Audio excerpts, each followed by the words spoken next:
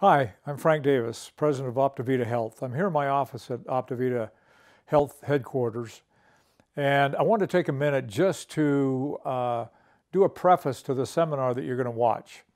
This seminar was presented to my employees, but I've done it also to other groups. And the main purpose is it's to uh, explain in a little more detail uh, about our flagship product that you could not, in any way, shape, or form, put it on a shelf and have people understand why it is so good, why it is so critical uh, for them in terms of maintaining or achieving optimal health. And after the, you watch the seminar, uh, after this, I'm going to wrap up uh, a little summary in terms of trying to bring it into a little more concise understanding of of the why and what relative to nutrition and the solution. Uh, and hopefully, it will be a meaningful experience to you and help you understand clearly why this is such a revolutionary product. And this is the new, improved version of our Complete Essentials.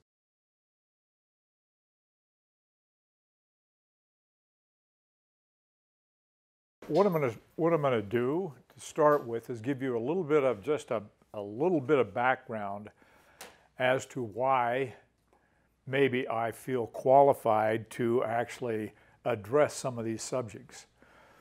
and it, it, was an evolution for me. But I, as, as a child, I started off my life with every childhood disease known to man. I had mumps, measles, chickenpox, you name it. Looking back, basically, I was raised on antibiotics. And I'm convinced now that it significantly impacted my immune system so that because instead of enabling my body to deal with it, and you're artificially attacking all this stuff with these medications, and uh, it does impact how your body then is able to respond to it in the future. So Anyway, that being said, uh, throughout my childhood growing up, I just had a very compromised immune system. I joke that if somebody drove by, they had their window down, they had a cold, I ended up catching the cold. I was very susceptible to anything that happened. Um, and being a what I call a wannabe athlete, it was a very challenging because every time I would get into whether it be basketball, football, or all the things growing up in a high school, etc., I was always proverbially catching some kind of a, a cold, a flu, uh, a whatever, and I uh, uh, it was always the recouping problem. So uh, anyway, in my, uh, I ended up throughout my growing up and into my uh, adulthood, I ended up with chronic fatigue syndrome after having mononucleosis twice, hepatitis twice, and pneumonia twice. And so when I ended up with this chronic fatigue syndrome in my early 40s, it was, it was to me a sentence worse than death because I literally could not even go on a walk with my wife in the evening. I would just, and this went on when we went down, and I, maybe she could remember this, when we uh, went to our condo in St. George, I had to put a bed in the back of a Suburban. My wife drove, she never drives, and I had to lay. Now, that was what I was dealing with. And it was the catalyst to propel me and said, I've got to find a solution. I can't deal with life like this. So I became immersed into trying to find a solution for my health issues. Um, in this valley, everybody has an, has an answer. We live in the network marketing capital world. Every and I was willing to try it all, and I tried everything. I mean, I would take whatever, and I'd go to the doctors, and they would say, well, they would prescribe some kind of antidepressant. And I say, listen, I'm, I'm discouraged. I'm not depressed and I didn't take the medications. So, literally about 20 years ago, approximately, I ended up going to a symposium in Park City. It was entitled uh, Foods as a Medicine. And it was put on by uh, a number of universities around the country, uh, uh, and they had uh, quite a uh, collection of these PhDs doing the presentation. And it was probably the most impactful thing that I had ever experienced because basically they, their presentation were saying, and this is again 20 years ago, said there has been more research in the last two in the last five years than the prior 200 years linking every known illness, every known disease to some form of dietary deficiencies. And really that was kind of the aha moment to me and said, you know, that has got to be my answer. And, and it kind of uh, obviously is validated by what Linus Pauling said. You know, he said it every vitamins and mineral deficiencies, but he's basically saying phytonutrients. It's basically what you're taking in your body is creating a you're either deficient and that's creating the susceptibility to diseases. The statement then by the American Heart Association replicates that. Basically, suboptimal diet is the cause of all leading death-related diseases, vascular disease, etc. I'm sure you've all heard this before, and that was really what I became away from this whole experience of saying, let food be your medicine, let medicine be your food. Um, and what I'm going to uh, attempt to show today is um, the problem with our food system, what we do about it, and then what the solution is. Unfortunately, what we're going to find in our country today, and it's, it's a worldwide problem, but more so in the United States, is that our farming techniques, the traditional, I grew up on a farm, we used traditional uh, sustainable methods of mulching, rotating crops, all these type of things. Those things are done away with for all intents and purposes in these massive farms. Uh, they, they do not use sustainable methods. You're, they're using extensive use of herbicides, pesticides, fungicides. We'll talk a little bit more about what that means. The, one of the most common used herbicide is Roundup. The ingredient in Roundup is called glyphosate. Here shows that it depletes it, it depletes the uh, it, in, it inhibits the uptake of the minerals from the soil. So this was just just the other day. Uh, Monsanto, who produces Roundup, was sued and had to pay $281 million because they have traced the cancer that this individual, and, and it's gonna it's going to blow up even more. But this this is just a a list of of some of the common foods that we're eating today that they have tested for the presence of glyphosate. You recognize any of those? Do you eat any of those? Cheerios. Everybody's yes. eating Cheerios. I mean, it doesn't matter what it is. Uh, Look, anything that's got oats in it. I mean, look at all yeah. anything that has any kind of oats in it. But even these natural whole oats. Right. It doesn't even matter if it says organic. It it switch it uh, kind of bleeds over. So phosphate's common. Is it a common? So what? So you understand what what what they do is. Uh, they have created genetically modified seeds. So if it is soybeans, if it's corn or whatever, what the, what, uh, the intent was is that seed is resistant to Roundup.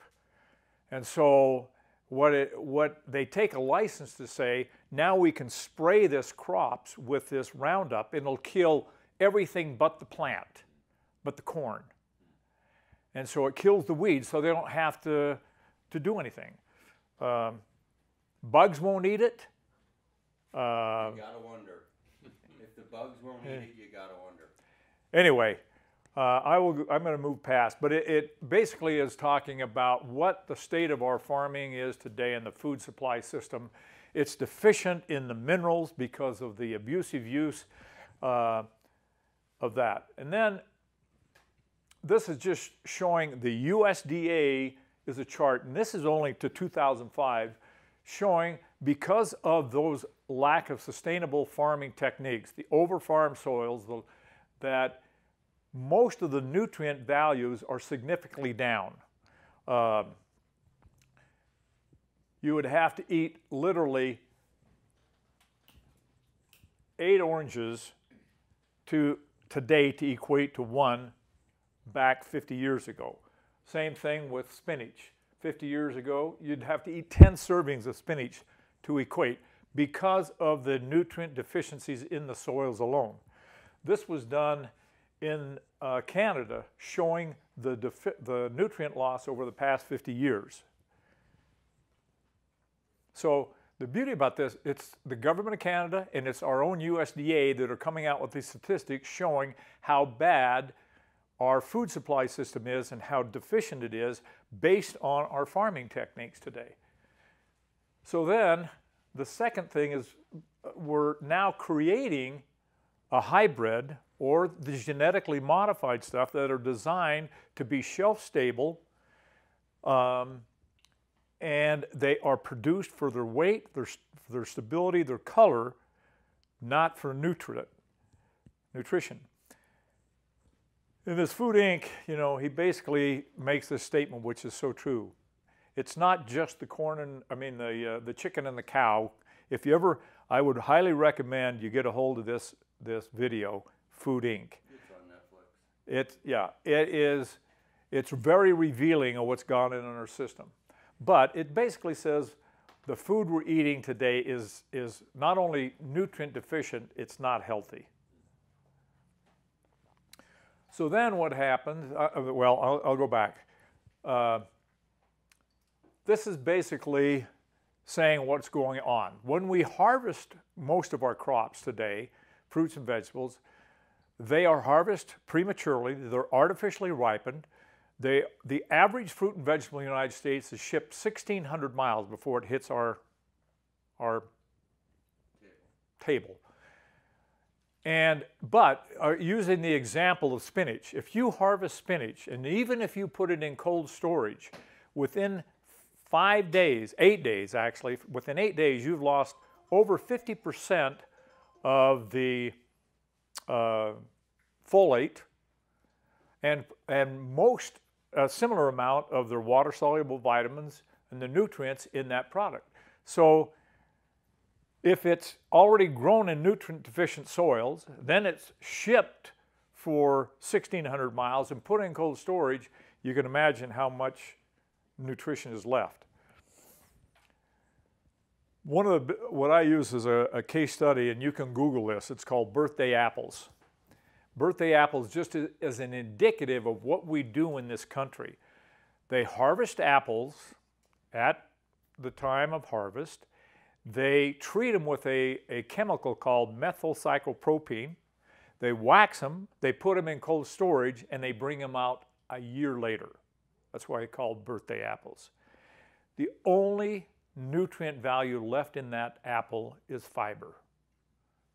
Sugar is also in there, but they, you know, that is, in, that is just what we do in this country today. Then, once we get it, you know, how much food of the fruits and vegetables and things that we get are processed. When they process them, they literally, you know, this is, this is what happens in this country. Some way, shape, or form, it's either cooked, it's either irradiated, they go through some process they call a kill step to get rid of all of the microbes in there. Now, if you go to the garden and you pick out something and you just wash it, it does have it does have microorganisms on it, but it also has inherent in there the probiotics and the other things that are, are going to enable us to eat it and fight off all the stuff. So when you're now eating foods that have been sterilized, your body has no, we're not using or not getting what nature created or God created for us to be able to deal with some of the microorganisms on the food. That's why you're seeing the incidence rise of all these, you know, E. coli and the other thing. They're always been on there. It's just we can't deal with them anymore. And then anytime you heat any food up to over 118 degrees, it will kill the enzymes. Enzymes in a food are what breaks that food down so your body can utilize it and absorb it.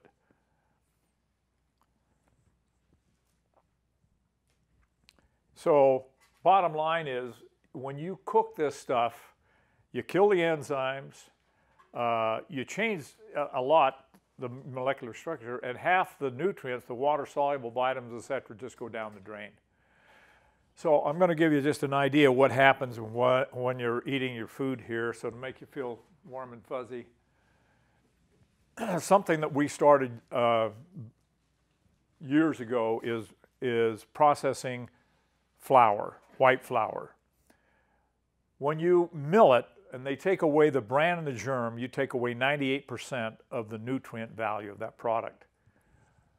When they get down there, you know, there's no vitamins, no minerals, anything left. So what happens is you end up, they basically said, the government actually said, hey, we have to put it back in. So what they do? They put it back in by law in a synthetic form, which I will talk about later. So when you look, fortified, enriched, yeah. And it's in everything. It's in your crackers. It's in you know. It's in your breads. It's in your cereals. You name it. It's in there. Uh, but the problem is they have found by eating white flour, it leads to deficiencies in, in some of these minerals. It's linked to synthesis of tumor cells because of some of these things, linked to higher blood cholesterol and um, gallstone, bladder, etc. That's just, you know, rice is another one. You eat white rice. Uh, I use in some of our nutritional products a, a rice bran. Of rice. When you take the bran off and you take the, uh, the germ, I could take this, uh, and the reason they do it is because uh, it, it makes it shelf stable. White rice will last forever. With the bran and the germ, it has, uh, it has the oils in it, it has the nutrients in it, and they take the nutrients out, then it's just nothing there. You get as much nutrition eating, running down the street with your mouth open as eating white rice. Uh, well, depending on what time of day it is, you probably get more nutrition. In the evening. Yeah, in the yeah. evening, right, the, when the bugs are So, so bottom line is, uh, with our modern farming techniques, the, uh, the deficiencies in the soils, uh, the premature harvesting, the treating of it, the long distance travel, uh, and, the, and the time delays, and you add to that the, the cooking and the treating of the product, we virtually are getting almost no nutrition out of your, even when you think of fresh fruits and vegetables, they are not fresh. I was in New York and I did a little filming with Montel Williams and we went to Whole Foods Market and we bought some spinach. And it was five degrees below zero and the first part of February. And so the question was, here is fresh spinach. Well, how fresh is fresh? Where was it grown? Where did it come from? We're in New York City in the middle of the winter. Well, we knew where it came from because it was written on the, the package. It came from Mexico.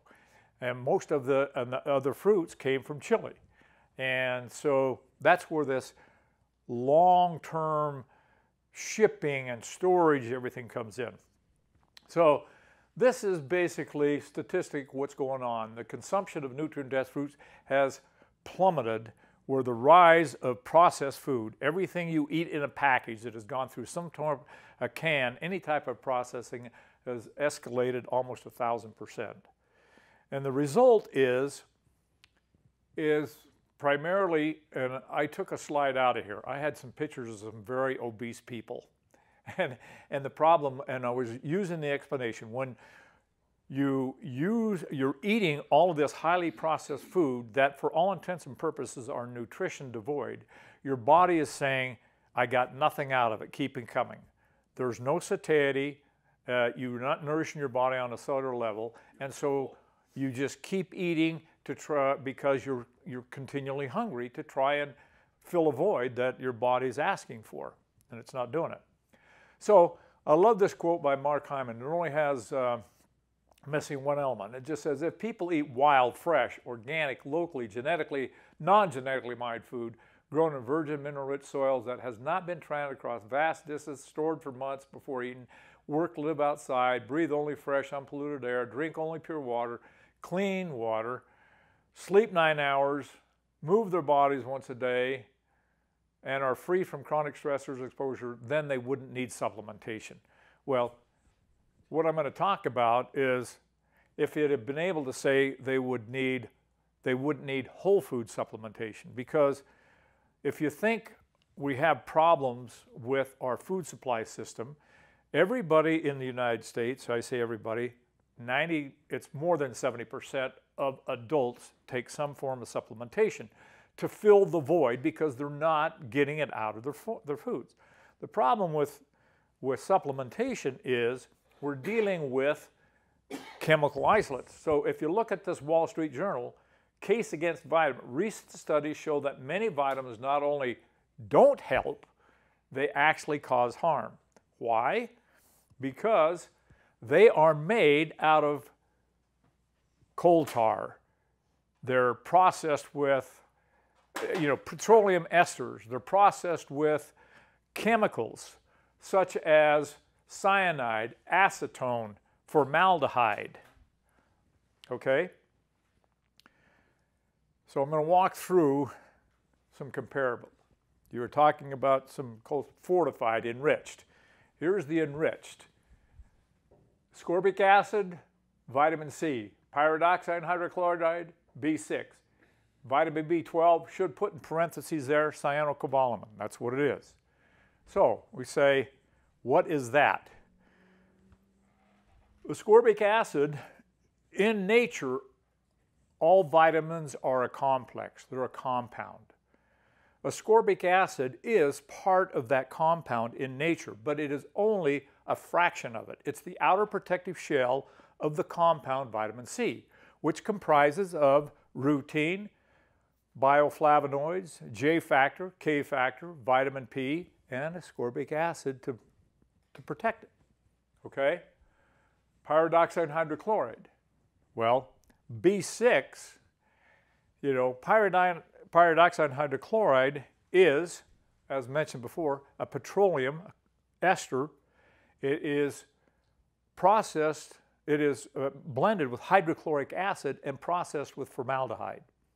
So my position is, as reasonable, rational thinking people would say, how does a dead, toxic, carcinogenic chemical benefit a live organism like the body? It's impossible. And what I'm going to show you on these, not only do, are they not beneficial, every one of them does damage. Uh, so here's what going they took this off the market, but this was the same thing. B6, cyanocobalamin. And you can look at anything you've got. You know, you got a cold cereal for $3, you have this at $120. They have the same thing in them. These are made in the same factories. And one's sprayed on it, one's put in a capsule form. Uh, and the way they differentiate them a lot of times is how many milligrams are in there. And it's like, okay, you can have, you know, one teaspoon of poison or you could have five teaspoons of poison.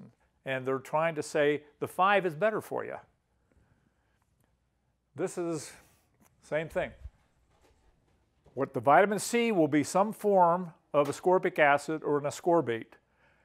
It is basically 99.9% of all, quote, vitamin C in ascorbate is made in China. Most of it is, a healthy percent of it is made in non-regulated laboratories using municipal water with known contaminants.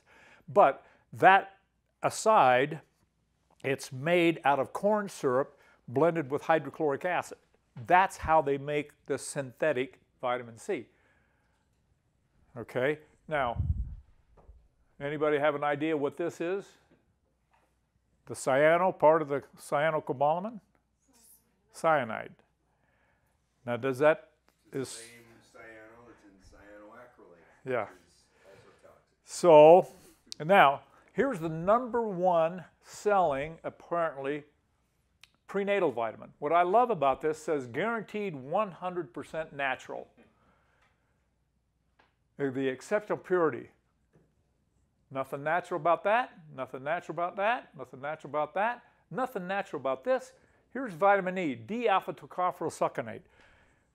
Vitamin E in nature comprises of four tocoquinols and four tocophenols. All right? So there's eight of them. They take one eighth of it and synthetically produce it and say it's the same thing. It's impossible. It's like we're in the football season, it's like taking the quarterback and saying, I only need him, I don't need the rest uh, of the team. So, uh, what I'm going to show you is the end result. My, so, my whole question was you've got number one selling, number one selling, you know, any, any cheap cereal, number one selling. Are these the same or they different? The, all of those vitamins are the same, made in the same lab laboratories. As I said, some sprayed on, some put in powder form. So, so the problem is, now, these are university studies or other studies showing not only is there a difference in absorption, this was almost four times better absorption by the body uh, of, of your B3, but uh, the difference is they had to stop a study on women using vitamin A in a synthetic form because it created premature births of their children and some other issues with that. Uh, on the vitamin B12 as well as B6, they found that in a synthetic form, it, it actually inhibits the action of your natural B12s or B6. In vitamin C, it creates genotoxins that mutate the DNA um, in the form of ascorbic acid. B6, same thing. Not only did this increase the, the risk of atherosclerosis, it also, uh, in the form of a D-alpha tocopherol, blocked the, re, the free scat because you've heard of vitamin E as a, a antioxidant. Well, the antioxidant, what antioxidant is, it, it is a, a scavenger of free radicals. But they found that the taking vitamin E in the form of D-alpha or DL-alpha tocopherol actually blocks the free scavenging ability of the gamma tocopherol, which is the workhorse. It's kind of like we're talking about, you know, THC versus CBD. The workhorse over here is the CBD and, in hemp extract. The other one is vitamin D. We're finding that vitamin D today is, is probably what used to be the vitamin C of years past. It is really linked to almost every condition you can think of, from bone health to actually obesity to heart health, everything. The problem is, in the US, the 35th parallel, basically Atlanta to Los Angeles, from the months of November through March, your body does not synthesize sunlight into vitamin D. So they're equating that a lot to the cold and flu season. You need vitamin D. The problem is most vitamin D, again, is uh, D3 and it is synthesized from lamb's wool. Uh, whereas, you know, what we have in our product, what we've ever used in the D3 that I, I started with, with Active, was from an organic mushroom. Mushrooms do synthesize sunlight just like the human body does and converts it into a vitamin D and we'd consume that, that and, and you're getting it in a whole food form. And there's all sorts of other benefits to the mushroom on top of that. So the bottom line is, you know, what we've been talking about in the U.S. in terms of our food supply system and the lack of nutrition, what we attempt to do for it with our, our synthetic vitamins, if they were working, we would not be at the very bottom of industrialized nation in terms of life expectancy and still the number one in terms of healthcare expenses. Uh, so a couple of little uh, twists on here. I mean, it literally shows our lifestyle, the type of stuff we're eating, and why we are, you know, down at the bottom in terms of our life expectancy and how much we're spending on our health care costs. In our country, what happens is it's all, all you got to do is trace where the money is because uh, the pharmaceutical companies have a big hold on what goes on in this country and you can't patent foods. Foods are where the answers are. And so they will find some way to synthesize it or create some type of, uh, it's, it's what's going on, and I'll explain this a little bit, in our hemp industry. The pharmaceutical industry has jumped in and they have created a, a isolate. And it now has passed legislation and it can be used for um, seizures. And so they're fighting, but what we have, and I'll explain as we get into it, we have what's called a full spectrum, meaning that it's not a chemical isolate, it is a full spectrum. And what we're going to find is that in any product, in any fruit, in any vegetable, what the, what the chemical industry does, they will find in that, like tomato, lycopene, they have identified as uh, something that helps men with prostate cancer, that it's really a, a potent antioxidant. Uh, and so what they'll do is try to take that tomato and isolate that, that lycopene. Then they find out that it doesn't work or it works very poorly. But they don't understand that, that they have no clue in that tomato what are all the cofactors that make that work. Everything works synergistically together. They can't work as a, a lone quarterback without any blocking or anything else. And that's the approach of the chemical industry. And of course, it's all about the money. Uh, just, just a few examples. Lipitor, 4,000% markup. Claritin, 30,000% markup. Zoloft, 11, 12,000% markup. Xanax, almost 600,000% markup. So those are the problems that we're dealing with. It's just about the money, and it's a fight for the American public to try and get help because you're fighting against the giants. Uh, so the answers are what? You know, obviously, if you can do it, fresh fruits and, and vegetables, if you can grow them in your own garden, once you harvest a fruit within uh, six hours, it starts to oxidize. So over a period of time, you are losing every day a certain percentage of the nutrient value, the phytonutrients, the antioxidants, the cancer-fighting compounds, etc. One of the things that we're going to talk about a little bit more is where is it grown? And how is it, if it is processed, how is it processed? Um, the traceability of something is key in terms of assuring yourself that you're getting the nutrient value that you anticipate.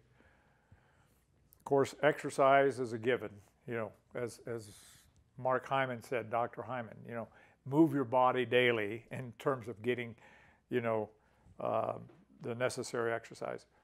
So Bottom line is, as I went through that, it's not about the density of the nutrients. Raw foods are good, calories are important, but to get the nutrition, what I'm showing, and it's based on what we're dealing with today, you have to get it in whole food concentrate. That is really what drove me through this whole process to say, I have no clue when I'm buying foods, even organic produce, where it came from, how long it's been in transport, how much you know, if it's a carrot, how much vitamin A am I getting out of it?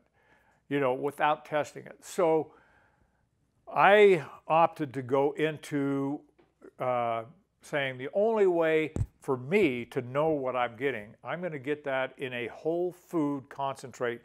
And I uh, basically a, a concentrate is saying we can take a whole food, reduce it down to either an extract or a powder. We can then test it as to its nutritional integrity, and now I know what I'm getting. Because of all of this, we ended up developing the Forerunner. This is our latest version, but the whole, the complete uh, essentials was developed with myself and uh, this Michelle Baccarella, who is a registered dietitian, master's degree in clinical nutrition. It, it, basically said, we went out and said, you know, not only can you not get it in your diet if you're, no matter how hard you're trying because of what we're dealing with in our food supply system, but not all ingredients are created equal. And so that traceability, that transparency, would said, okay, we're going to create a product that the reason we call it complete, it was designed to provide the body everything it needs in a whole food for immune system, for all of your bodily functions, uh, everything the body, you still need calories, you still need fats, you still need protein uh, and carbohydrates, but from a nutritional supply, this has all the vitamins extracted from fruits and vegetables, um, all the minerals from a whole food form. It has all these antioxidants from fruits and vegetables. Uh, and uh, it has 15 uh, strains of probiotics. Each probiotic has its function in the body. Gut health is critical. That's where most of your diseases begin if you don't have good gut health. And most people are deficient. You know, when you're taking an antibiotic for whatever reason, uh, it's kind of like chemotherapy. It goes in, it kills everything in sight, you know. Um, and uh, so it basically depletes, you know, gut flora is critical for your health. But if you're, yeah, if you're taking, if you're taking some antibiotic, it goes in and, and and just basically depletes it. So we have 15 strains of, of, of uh, probiotics here, and the probiotics, what they do, I mean, they help your digestive system. Uh, they help in so many different ways in, in terms of uh, everything. So uh, yeah, they're critical in terms of the uh, the bioavailability of some of the foods that they help your body absorb and utilize. So I use the I use the example here in the state of Utah. If you ever go to a a camping site and you drive in, you know, and during a nice summer, day, or let's say it's, uh, you might relate to this, how many of those parking stalls are usually filled on a weekend or on a holiday? 100% of them. And so you just keep driving through. What probiotics do, they, they, they colonize in these cavities in your stomach. And so if you get a bad bacteria coming in your body, so to speak, and there's no place for it to park, because it's taken up with good bacteria, it will end up passing through your system. And so it's so critical to keep your body basically filled with good bacteria. That's why this has it. You're taking 15,000 or 5,000, 5 billion, excuse me, CFU of bacteria a day to keep that good flora, that good bacteria in your, in your digestive tract. Okay? One of the things that we did, uh, and this I'll just kind of end on this relative to our complete. It's not 100%, but one of the things I found was a technology that we could reduce any type of fruit, vegetable to a powder with zero loss of any color, any flavor, or any nutrients. We would test it before and we would test it afterwards. And uh, not only that, we had it sitting on a shelf at 10 years, ran a test after 10 years because it creates a flat, solid particulate. When it was not exposed to any moisture, after 10 years, it was still 100% intact. The bottom line on this is, you know, medicines, I'm, I'm basically, I'm an anti-drug fanatic. I haven't, for all intents and purposes, taken as much as an aspirin in 15 years. Uh, there is something nature created that is much better with no side effects. Well, hopefully you enjoyed watching this seminar and hopefully it was also meaningful to you and you were able to understand some of the challenges that we all have relative to maintaining or achieving good health. Let me just summarize again what I was trying to communicate in this seminar. First of all, all the reasons that we're dealing with such a high incidence of these, what they call Western diseases, heart disease, cancers, diabetes, stroke, all the autoimmune diseases, things that were not prevalent back in the early 1900s. First of all, it's the change of diet.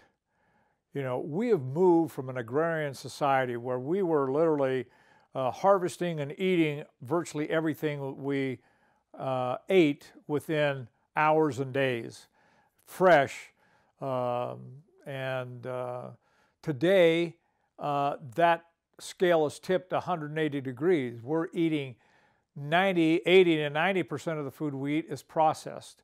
It's been cooked, pasteurized, um, radiated, uh, you name it. We have uh, anything to make it convenient, can it, box it, do whatever, and, and every step degrades the nutrient value of that product. So the significant change in our diet, the Western diet, has had a significant impact on our health. Combine that with the fact that the foods we are eating that are produced uh, are grown in nutrient deficient soils. They're, the industrial farming does not use sustainable farming methods that were uh, common um, 50, 100 years ago. That was mulching, rotating crops, keeping that uh, the nutrients in the soil.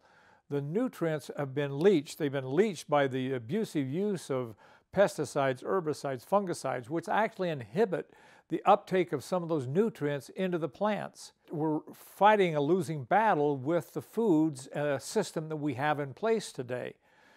Then you take the foods we do produce, where are they produced? Well, uh, I happen to be in the middle of winter right now. It just past Christmas.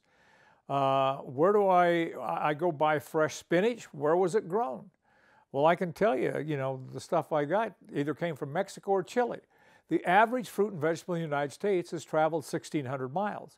The, the, after you harvest that spinach, in this case, even if you put it in cold storage, the, the oxidation process begins within six hours. So uh, it's continuing to degrade. If within eight days you've lost 53% of the folate of that spinach, and an equivalent amount of water-soluble vitamins and other nutrients. So forget the fact that it was probably nutrient deficient in the first place because it was grown in nutrient deficient soils. Now you've lost an additional 50 plus percent of the nutrients. So this is what you're ending up with. Then add to that the processing, you know, uh, where we're taking these fruits and vegetables and to make it convenient and long storage, we're taking uh, the green beans in the case in the seminar and we're cooking it at high heats, processing it, putting it into cans, then it goes on your shelf. Then when you cook it, you open it up, you put it in a pot, you heat it up again, you boil it, and then you pour all the excess water down the drain, which would probably is the balance of any nutrients left in that green bean, and you end up eating fiber with no nutrient value whatsoever. And so, you know, you take all of those elements change of diet, depletion of nutrients in the food because of the soil and because of the use of pesticides, herbicides, etc., the time to market, and then processing, you know, it's no wonder that we're dealing with the health issues that we are. There is a solution, and that is what I've been spending half my adult life researching. It became a focus of passion where we can get those uh, fruits and vegetables grown in nutrient-rich soils using sustainable methods, taking new technology and reducing that to a powder and testing it and knowing that 100% of those nutrients are intact and combining all that stuff together because we live in a convenient-based society where you can get all the nutrition from whole foods in a powdered form and know you're getting everything the body needs to support a healthy immune system to maintain and achieve optimal health. That's the message. I hope you take advantage of this product. You will notice a difference. It will change your health. I guarantee it. Thank you.